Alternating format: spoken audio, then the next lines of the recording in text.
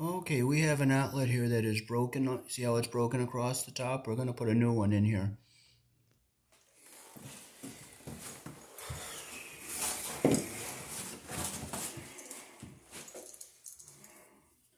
See which side is live.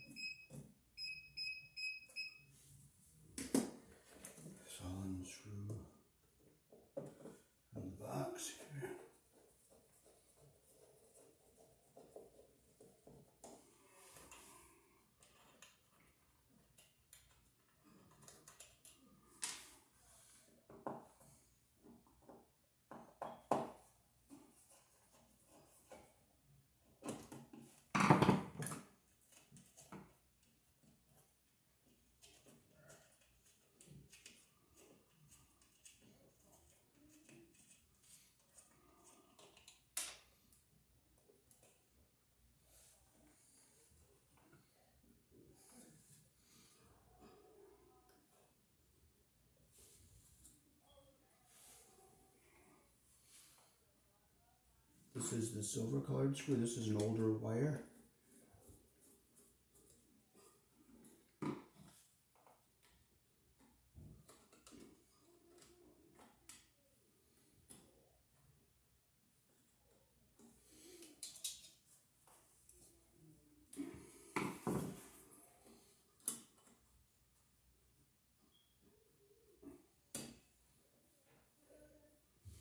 This does not have a tracer on it, so this is the neutral.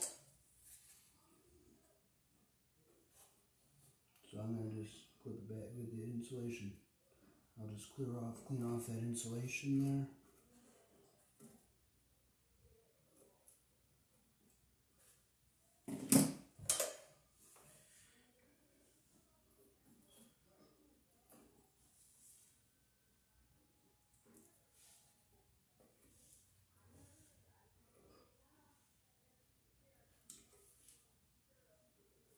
Make sure I get all the cloth off of there because you don't want to get that under the uh, terminal when you tighten the screw. And over here you'll see the, uh, the black tracer. See that black tracer with the white? That marks it as the live wire.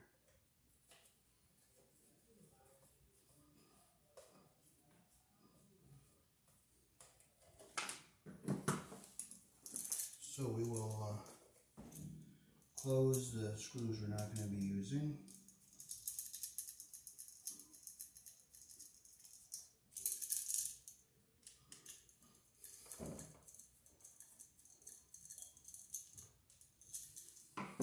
And again, we'll strip this one back a little bit further so we get a nice wrap around the screw.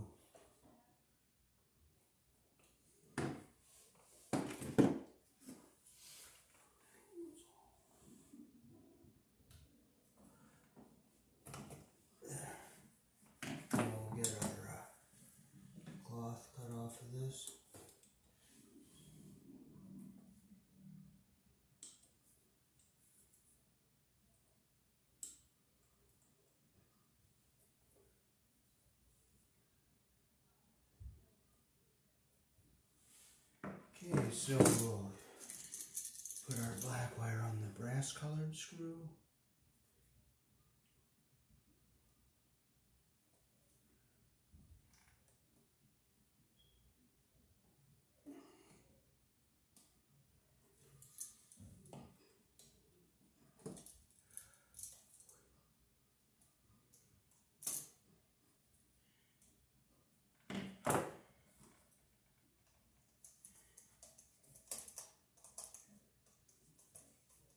Well, I need to shorten that a little bit. I made it too long. I hate how these handles keep sliding up.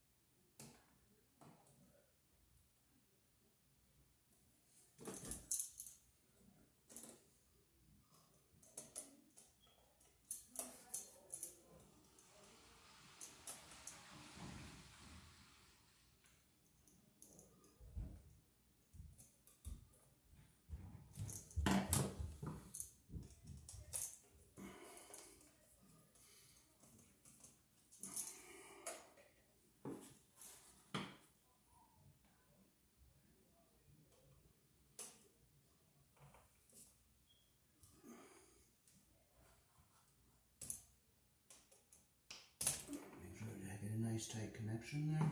I'll turn around this way. I'll get our white wire on the silver colored screw here.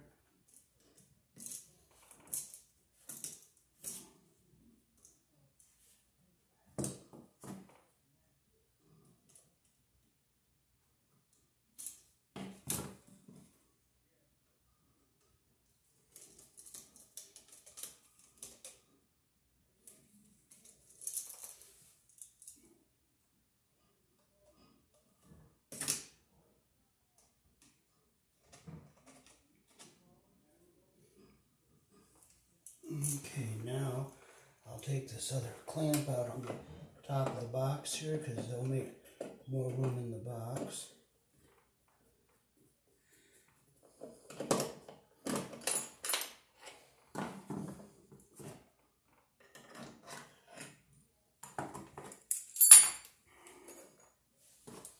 And now we can just simply screw our device back into the box here.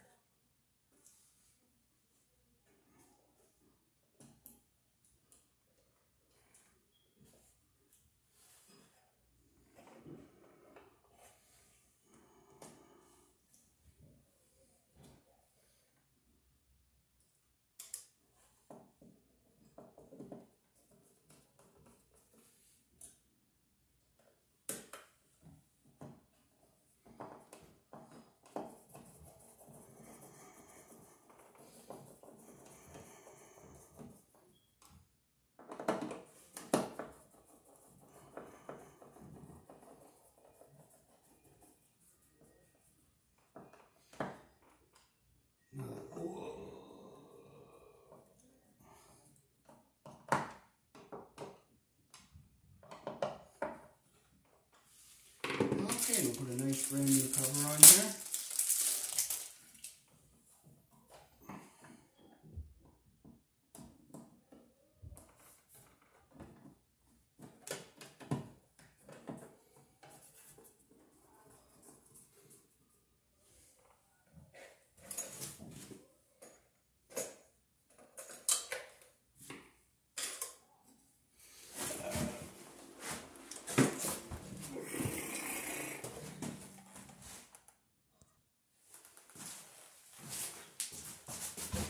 Alrighty, so uh, thanks for watching. That is how to replace an outlet here in the country I was born in. If there's older wire behind it. And uh, the older wire has a black tracer on the side that's live. Peace. Thanks for watching. Here we use a 14 on 15 amps, 12 on 20 amps, and that's American wire gauge. Black is live, white is neutral, bare and green are the ground. White is sometimes live in uh, switch loops and uh, 220, 240 volt devices like uh, baseboard heaters, large air conditioners. Peace. Thanks for watching.